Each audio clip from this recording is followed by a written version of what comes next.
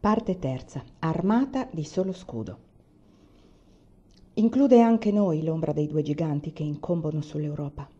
L'imperatore Massimiliano e il re di Francia che hanno portato allo scoperto la loro voglia di conquista sugli stati d'Italia, ingannandoci a colpi di false e mutevolissime alleanze. E come sono gli inganni più fatali, in principio sembrano captare ogni favore della fortuna. La Lega di Cambrai era in atto. Truppe francesi, ferraresi, imperiali e truppe del Papa muovono verso i confini veneti. Sono cadute Bergamo, Cremona, Crema, Brescia e arriva la grande disfatta veneziana di Agnadello. Ormai è sicuro, l'imperatore e Luigi XII sono decisi a spartirsi le terre della Serenissima e forse dell'Italia intera.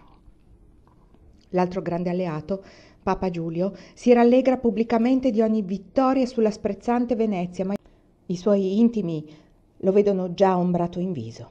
Noi allora stavamo dalla parte dei vincitori. Francesco aveva i titoli di capitano delle truppe pontificie e di luogotenente del re di Francia. Tuttavia i veneziani non ristavano dall'inviarci ambasciatori, tra i quali Carlo Valerio, gentiluomo nostro amico, offrendo in toni di supplica e di pianto centomila ducati d'oro perché Francesco prendesse il comando del loro esercito. Tutti i loro generali gli avrebbero obbedito come putelli. Non si ricordavano i veneziani in che modo eravamo stati respinti. Francesco ed io rispondemmo alteramente e non fummo nemmeno tentati di accettare. Umiliarli, quei superbiosi, era troppo un grande dono e ci compensava delle sferzate ricevute per tanti anni. Ma le beffe non finivano. Ad Agnadello Francesco non poté andare a cogliere la sua parte di allori. Stava a letto, con il suo brutto mal francese, molto piagato, lamentandosi contro le maligne stelle. e dovette leggersi la lettera del re di Francia che, fingendo lo scherzo, gli dava del poltrone ricominciavano le irrisioni. Francesco era malato davvero, invece. Il medico aveva comunicato i suoi responsi e sapevo come procedevano le cose. La verità era questa, alla sua età, ancora vigorosa, gli attacchi della malattia che lo tormentava da non poco si facevano più ravvicinati e gravi. Col mio aromatario, giusto da Udine, preparavo unguenti e acque composite, usando gli insegnamenti del fracastoro corretti da nostre ricerche l'arte medica mi dava un pacato senso di buon restauro. Ero attenta e studiavo pazientissima le varie ricette di medici italiani e non italiani, antichi e moderni. Come mia madre e le mie ave estensi, ho la mano della risanatrice. Uscendo dal mio laboratorio badavo a governare la nostra terra e mi avvedevo con rinnovato stupore che gli atti di governo non presentavano segreti per me. La disposizione a ben fare mi faceva apparire le faccende di cancelleria agevoli da sbrogliare. In fondo lo Stato era una grande famiglia da amministrare con giudizio e meglio quando ci si spogliava da ogni passione. Veniva il caldo di luglio, Francesco risanava e finalmente scendeva in campo, deciso a mostrare il suo valore di capitano. Entravamo nell'agosto. Sebbene la vittoria di Agnadello datasse da più mesi, godevamo strascichi di gloria. Per nostro ordine si scalpellavano gli stemmi di San Marco, dai nostri palazzi e in piazza il popolo bruciava effigi di capitani veneti dondolanti in certe loro gondole contraffatte. Le ombre dei giganti, Luigi XII e Massimiliano, parivano non incombere, ma perfino proteggerci mi rappresentavo Francesco a Verona, dove il re lo aveva mandato per presidiare la città contro possibili attacchi, muoversi tra i suoi soldati, rinvigorito da quella circolazione di umori militari, gonfio di propositi guerrieri, e pregavo Dio che le fumate della fantasia non gli turbassero la mente. L'otto di agosto, ignara di tutto, sono in palazzo intenta alle solite cure di corte. Mi annunciano il conte Ludovico della Mirandola, capitano leale di Francesco, ed io mi dispongo ad ascoltarlo con animo gioioso. Nessun presentimento mi turba. Ed eccolo, si presenta e subito mi afferra alla gola la sensazione di un altro apparire, quello di Giovanni Gonzaga, che annunciava la rotta dei milanesi. Uno stesso grigio ha il viso della disfatta. E così lo so. Mentre mi ingegnavo a tenere in equilibrio, in perfetta pace la nostra città, Francesco aveva trasgredito il comando del re di Francia. Uscito da Verona era andato verso Isola della Scala per calare su Legnago, terra di antica ambizione mantovana, una volta sottoposta ai Gonzaga e poi ripresa dai veneziani. Qui il racconto esitava. Sorpreso dalla notte, Francesco si era messo al riparo in una casa di contadini, in giubbone e senza armi, e così lo avevano preso prigioniero. Mentre fuggito da una finestra si nascondeva in un campo di saggina. Incatenato, era stato trascinato a Venezia, dove certo il popolo lo aspettava, tumultuante, di gioia vendicativa. Si distende davanti a me questa relazione umiliante e non voglio assumerne il senso. Assisto ad un sogno di feroci burle, mi dico, e intanto già comincio a dargli fede. Tutto è interrogativo, sgomento, smania, abbattimento supremo, ribellione. Prigioniero, Francesco, prigioniero di quei veneziani tanto odiati. Oh, perché? Perché ha lasciato Verona? Perché ha osato l'insensata impresa di Legnago?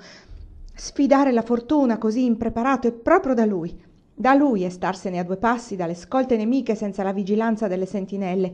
E una volta cerchiato, perché non si è battuto? Perché? Già, capisco, l'hanno trovato senza spade in un momento smemorato. Come non saperlo? Era con una donna. Ma fuggire da ladro, Dio mio! Mi sento cadere in un abisso. Eppure resto lucidissima i piedi ben fermi a terra mentre Ludovico della Mirandola aggiunge che ogni nostra ricchezza è stata razziata. Cavalli, argenteria, armi cannoni, gioielli, l'intero corredo di un capo, del luogotenente del Papa e del Re di Francia. La realtà non si discute. L'ira, se mi accecasse, non farebbe che aumentare il disonore. Fingiamo che non sia successo a me e che io mi dibatta fra le ipotesi e le immagini che ci assalgono in una notte di sogni cattivi. Prima di tutto difendiamoci, difendiamo i figli, difendiamo il popolo, si radunino i notabili della città qui, nella sala grande. Che dirò? Che dirò? Mi raccomanderò con le lacrime, farò la moglie affranta. Un impeto di rivolta mi sprona, quasi chiederei una spada d'Amazzone. Bisogna raccontare una storia. Dirò che tremila fanti hanno assalito il marchese di sorpresa e non sappiamo ancora se sia stato ferito o no nel combattimento. Inventerò una carneficina. Le sentinelle uccise a tradimento, nugoli di soldati all'attacco. Cambierò in una storia d'armi sfortunata questa storia vile più amara sventura non poteva toccarmi. Oh, coraggio.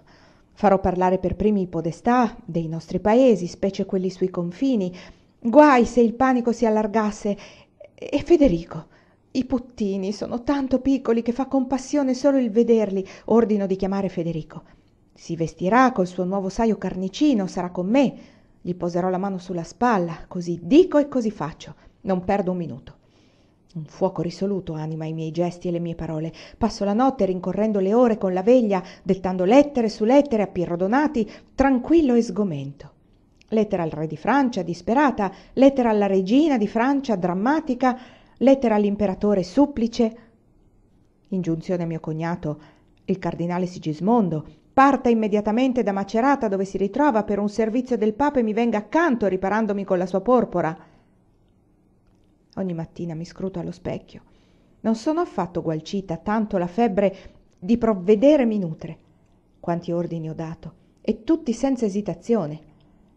Ho scelto accuratamente il vestito, semplice ma nobilmente tagliato in una stoffa di taftà leggero, bigio chiaro, che arieggi ad un abito da cavalcare. E un tocco piumato sui capelli che mi dia l'aria di essere pronta a qualunque occorrenza.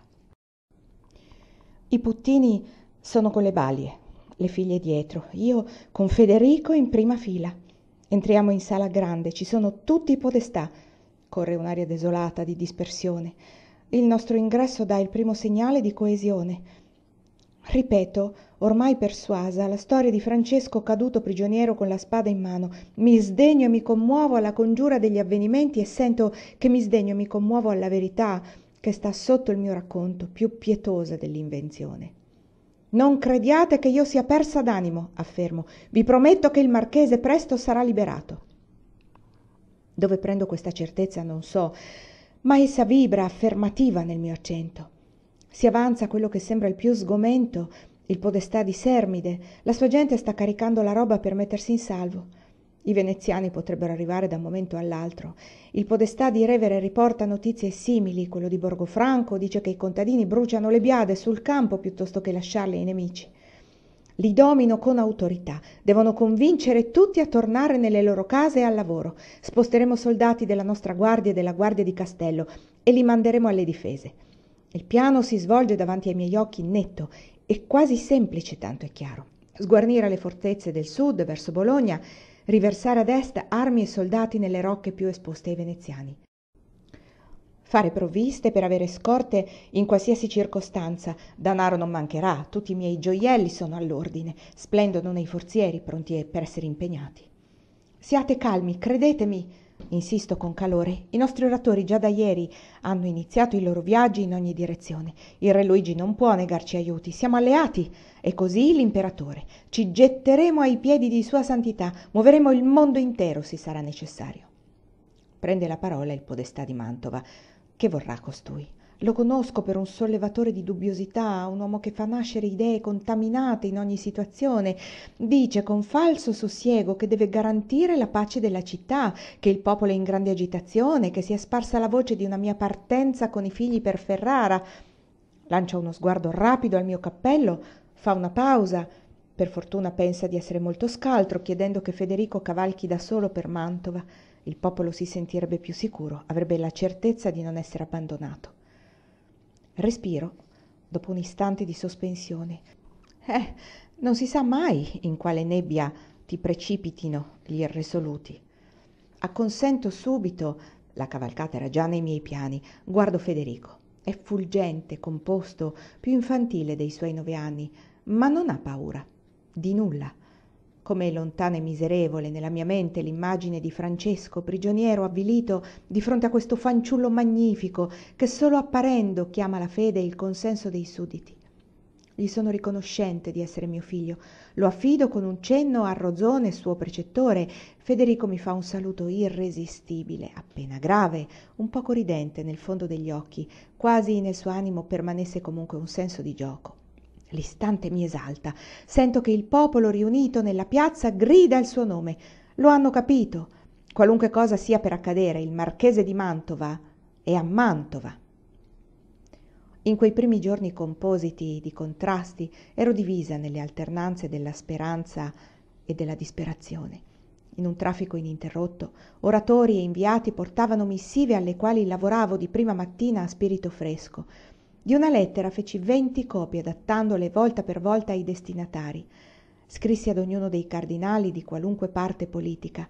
Scrissi a Firenze, a Napoli, in Spagna, in Inghilterra e persino al turco.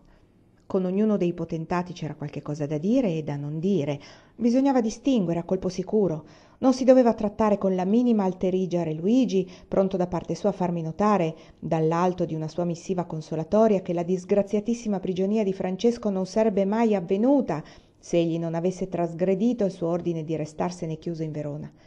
Cosa vera, crudele a sentirsela rammentare. Con l'imperatore Massimiliano il danno non era solo di giudizi e di mortificazioni, egli prendeva pretesto da tutto, come da secoli fanno gli imperatori tedeschi nelle nostre terre per pretendere denari e provvigioni per l'esercito d'Italia, che secondo lui ci difendeva. Tributo, sottolineava, la cancelleria imperiale doveroso per noi alleati.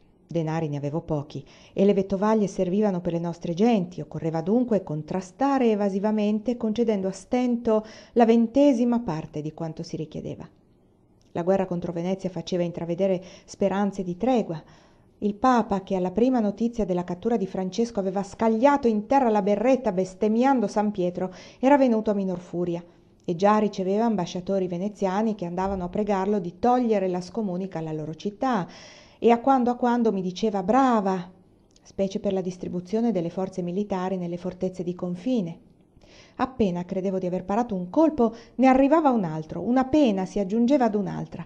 Il re di Francia confidava ai nostri gentiluomini, come Alberto Pio da Carpi, affermasse che la qualità del marchese di Mantova era infida e che facilmente fiaccato dalla prigionia egli avrebbe potuto tradire accordandosi coi veneziani. Il mio orgoglio sanguinava, davvero, ma fu peggio quando il re francese mi avvisò di voler mandare a Mantova cento uomini d'arme al comando di monsignor d'allegre a difesa della nostra terra. Mi drizzai su me stessa e immediatamente risposi che non avevamo bisogno di soldati. Il popolo era quieto e operoso. Avevamo solo bisogno che francesco tornasse a casa. Intanto inviavo alla regina un bel quadro tra i migliori che avevo del costa pittore da lei sommamente ammirato e facevo ricercare fra i nostri maestri berrettai alcuni bei cappelli per re luigi che a quanto mi si informava andava in giro con un copricapo di peluche sbertucciato. Le mie ragazze di corte inguaribilmente giocose risero non poco per quel cappelluccio del re di francia. Ridevo senza allegria io pensando che sotto quel feltro liso c'era una testa coronata capace di comando. Da roma il papa continuava a ridire solo quel suo brava irritante mentre l'imperatore mi annunciava l'arrivo di un suo uomo di fiducia per aiutarmi a governare.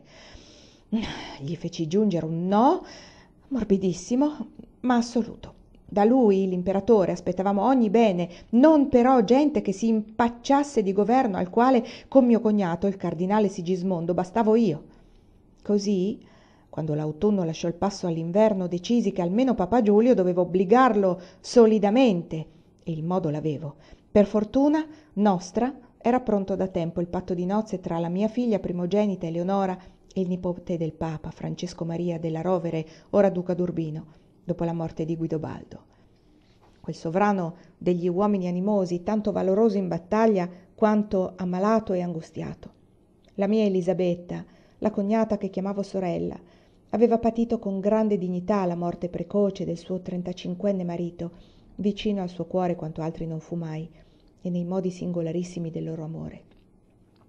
Su elisabetta non mi sono stancata mai di fermare il pensiero. Con lei gustavo le dolcezze che da una cara e amata compagnia derivano.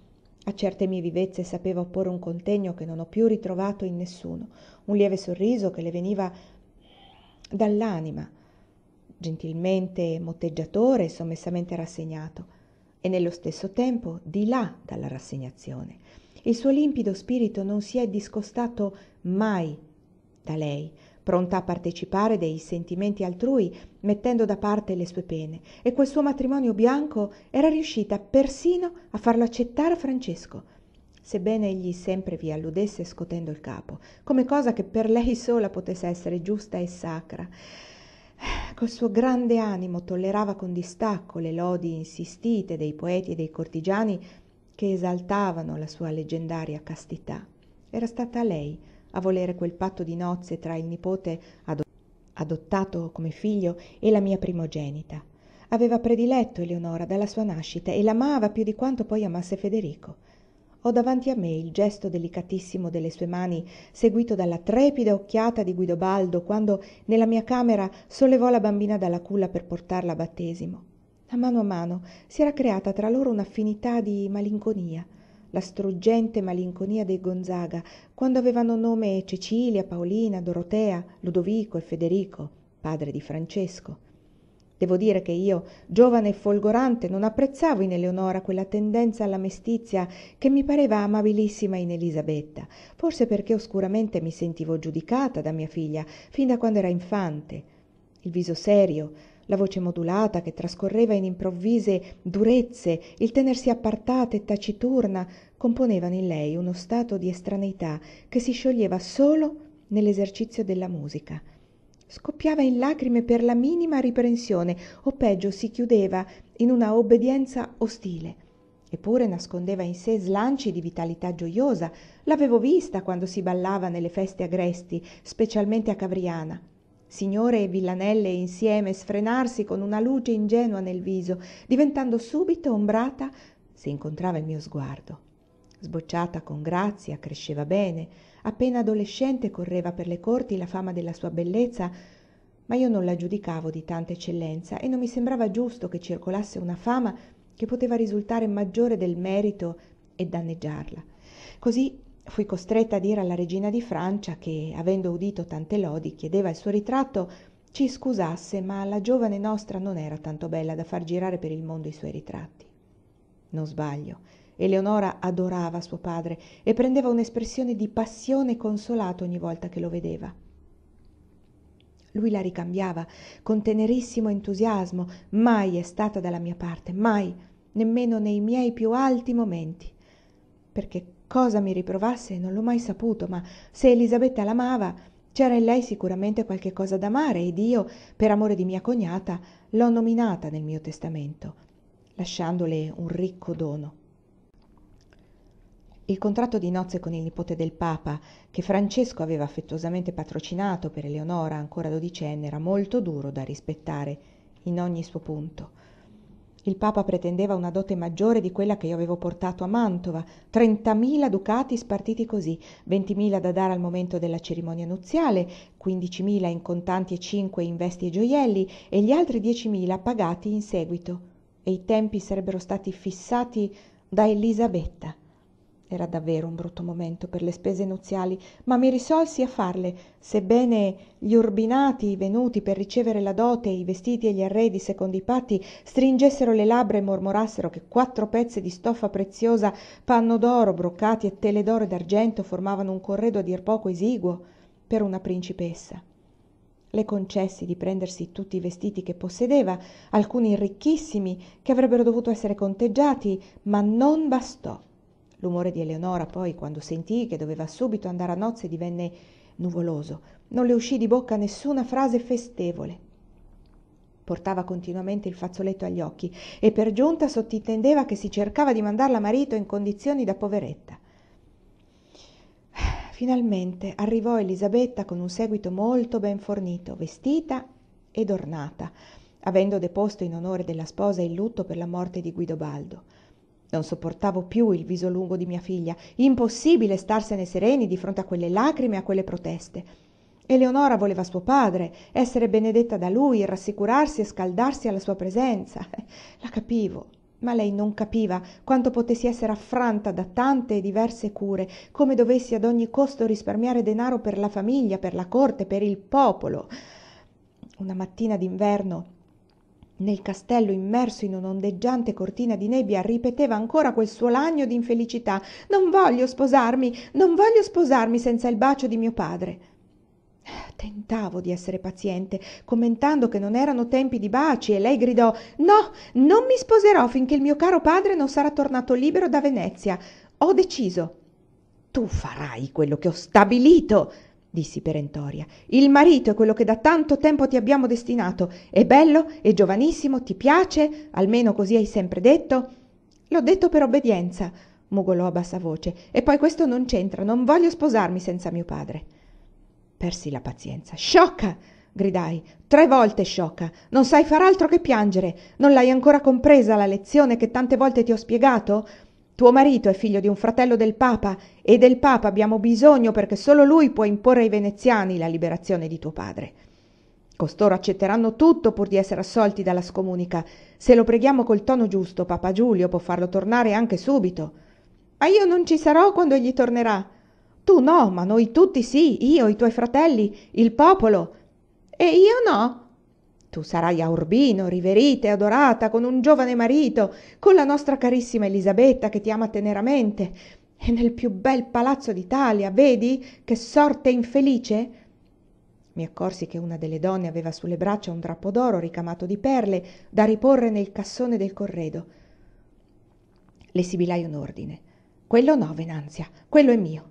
Eleonora raddoppiò i singhiozzi. Già io non merito nulla tutto mi si deve negare quel momento era apparsa elisabetta. Guardò me guardò la nipote e non smetteva di sorridere. Si fece dare da venanzia la pezza di drappo d'oro e con quella sua avvolgente maniera isabella sorella mia disse ma questo non è il drappo che avevate promesso all'inviato del papa quando venne a concludere i patti nuziali?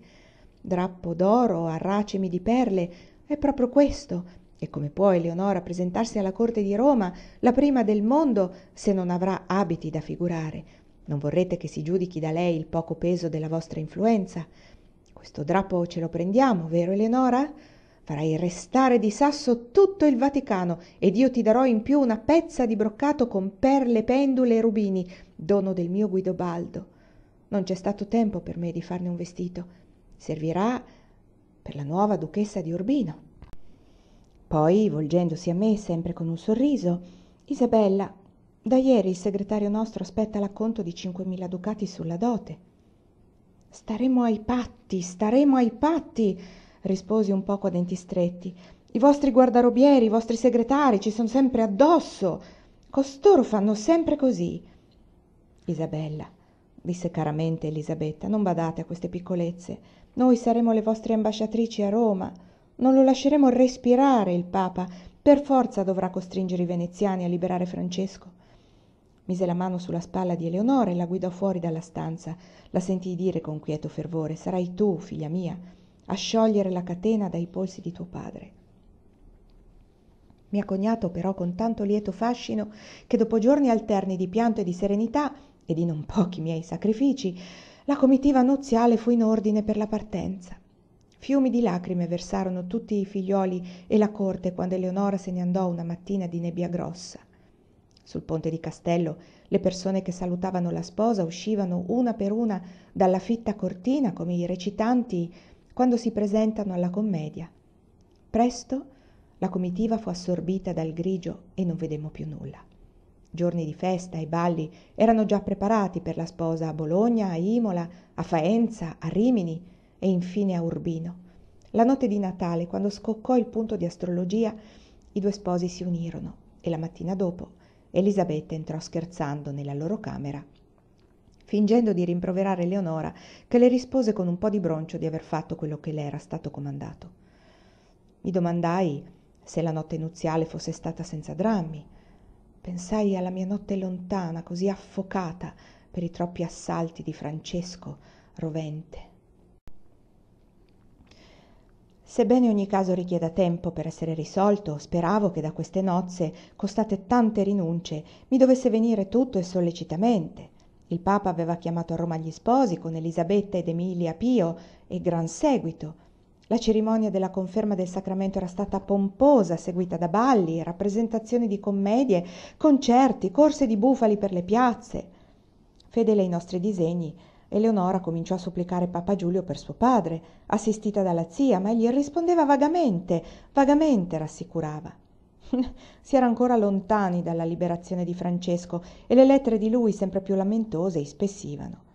Dichiaravo in buona fede che mi flagellavano e accoravano i cattivi trattamenti dei veneziani al prigioniero chiuso nella torresella. Mi si era persino ricusato di mandargli il suo medico per natale gli avevo spedito il suo cantore prediletto marchetto cara che solo tre volte ebbe il permesso di andare ad alleviare la tristezza del suo signore.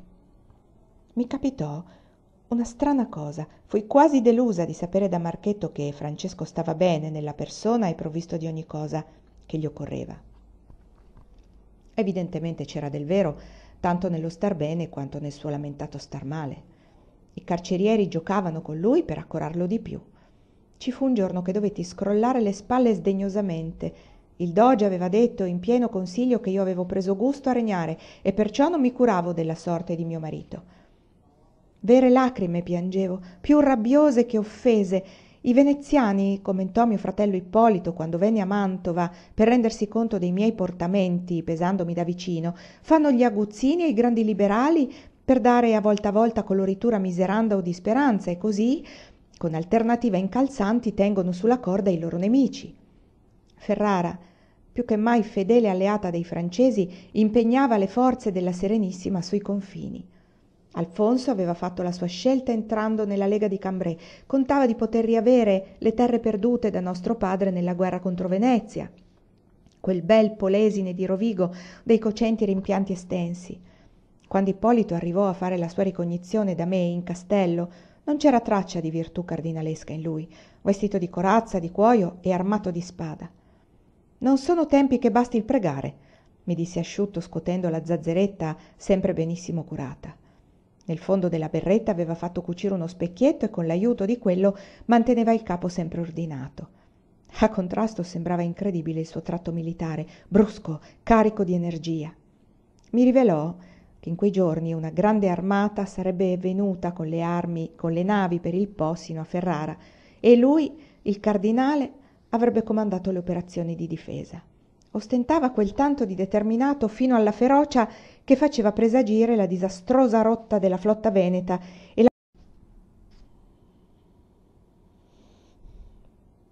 e la gran caccia fluviale che impegnò i ferraresi lanciandoli dietro ai fuggitivi nel violento fracassarsi della superbia veneziana. Sotto una bianchissima luce di plenilunio tutta la notte tuonarono le artiglierie di alfonso colpendo l'armata di san marco che risaliva il grande fiume. E tutta la notte ippolito sotto quella luce restò a cavallo pronto a dirigere i movimenti dei difensori. L'apoteosi ferrarese il trionfo dei miei due fratelli il colpo sferrato ai nostri nemici mi dettero un soprassalto di gioia e di timore. Che cosa avrebbe suggerito ai veneziani la sconfitta avendo un francesco inerme nelle loro mani? Si sarebbero vendicati sul povero prigioniero? La loro possibilità di vendicarsi comprimeva il mio cuore fino a strizzarlo e accendeva in me lo sdegno antico contro la potenza della repubblica. Troppo assoluta a paragone del nostro equilibrio di piccoli stati mi parve però di respirare meglio quando pensai che un ostaggio del peso di francesco tale da poter quasi decidere le sorti della lega era troppo prezioso per disfarsene con una razione di veleno. Seguendo col pensiero una lezione di realtà politica e immaginando una difesa come fanno i grandi capitani quando prevedono mentalmente l'assalto nemico ai propri capisaldi mi condussi in modo che qualcuno dei nostri ammessi alla prigione provocasse in francesco uno dei suoi moti generosi e infatti egli dette ordine di restituire quanti prigionieri veneziani avevamo a mantova. Il gesto piacque al doge loredan ma non ci portò nulla di nuovo. Passato il natale i mesi dell'anno nuovo si numeravano già e francesco rimaneva chiuso dietro la porta ferrata della torresella. Ad un dato momento si pensò ad uno scambio di prigionieri avendo i francesi nelle loro mani il gran capitano della serenissima bartolomeo d'alviano preso ad agnadello ma fu tale la reazione di re luigi alla proposta così sprezzante per francesco giudicato di poco peso di fronte allo stimatissimo generale che lacrime bollenti di umiliazione mi calarono sul viso. Asciugandomi ritornai per la centesima volta all'idea che solo dal papa e a qualunque prezzo avrei potuto avere aiuto soltanto da lui sempre col rodío del prigioniero seguivo dalle minime avvertenze dei nostri informatori a roma il mutare di giulio. Egli si stava gradatamente staccando dalla lega immettendosi in un pensiero diverso volgente a liberare l'italia dagli stranieri. E c'erano chiari indizi che lo dimostravano incline a togliere la scomunica ai veneziani primo passo per arrivare all'accordo. Bisognava però aspettare